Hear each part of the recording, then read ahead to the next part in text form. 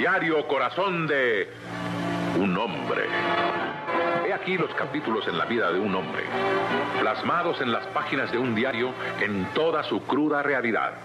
Y ahí está, quien abriendo su diario escribe.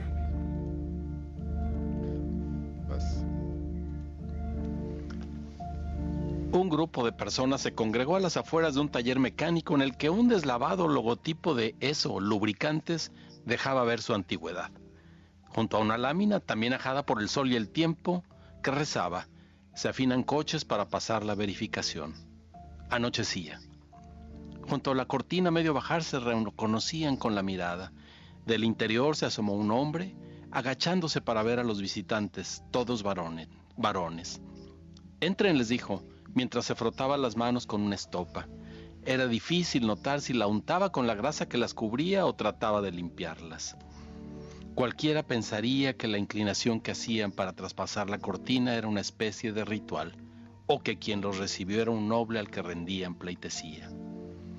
Qué bueno que se animaron, habló el anfitrión, y fue acercando sillas desvencijadas y sucias. Uno de ellos, luego de recorrer con la mirada los coches que había en el taller, comentó, Oye, ese Carman Guía estaba aquí hace tres años, ¿no? La última vez que vinimos. Sí, repuso el mecánico, ya mero termino de detallarlo. Pero no nos distraigamos, siguió. Los convoqué porque las cosas están peligrosas. Justo a media cuadra de aquí, en el local en el que antes había un zapatero, acaba de abrir un saloncito en el que de jueves a domingo por la tarde se juntan adherentes del culto Yo no soy Alejandro Sierra. Y cuando pasan por aquí enfrente noto un como odio cuando ven hacia el taller. Digámoslo de una vez. Alzó la voz al tiempo que con la mano abierta golpeaba la salpicadera de un corroído Rambler American. Nosotros sí sabemos quién es Alejandro Sierra y nos cae bien. No exageres, corrigió uno. Lo más que conseguimos fue tolerarlo.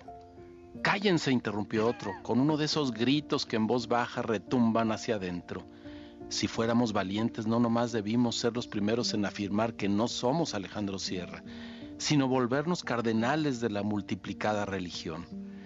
Pero sabemos que no podríamos evitar que se notara que lo conocimos, o que tuvimos trato con él, porque eso de conocerlo, ni su madrina, que le cambió los pañales. Además sería arriesgado.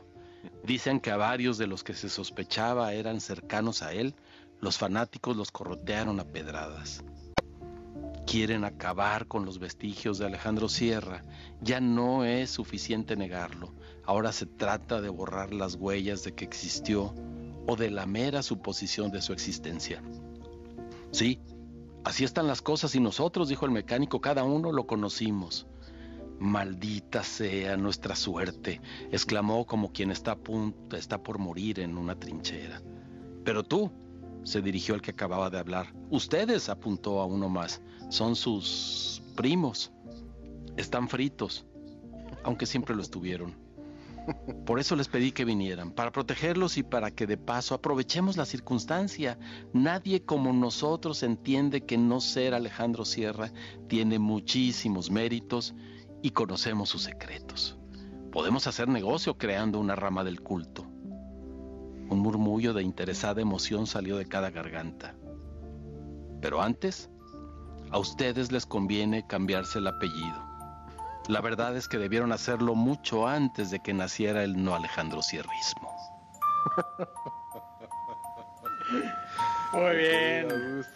Mucho antes, Alejandro. Sí, la verdad sí. Si alguno de ustedes se apellida Sierra, pues me entenderá.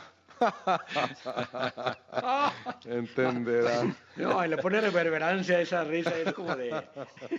Como la de AMLO. No, no, como la de Munra del Inmortal. No. Exacto. Vámonos. Muy bueno.